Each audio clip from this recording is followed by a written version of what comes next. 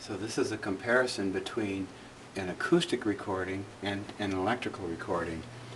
Up until 1925, everything was recorded acoustically. You can see them crowded around that big horn at the end of which was a cutting head. And over here, we've got the same orchestra in the same room, only now they're casually seated around with a microphone up towards the front. And uh, what we've got here is the same recording, well, the same tune, um, recorded the same year in the same studio. This is acoustic and this is electrical, and we'll hear the difference. I say.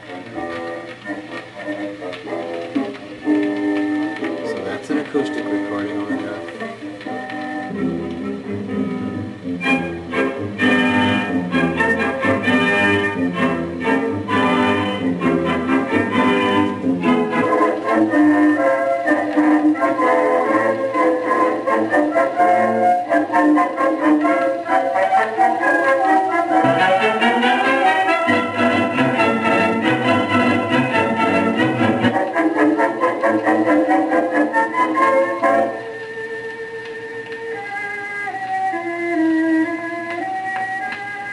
wonder people went to live concerts.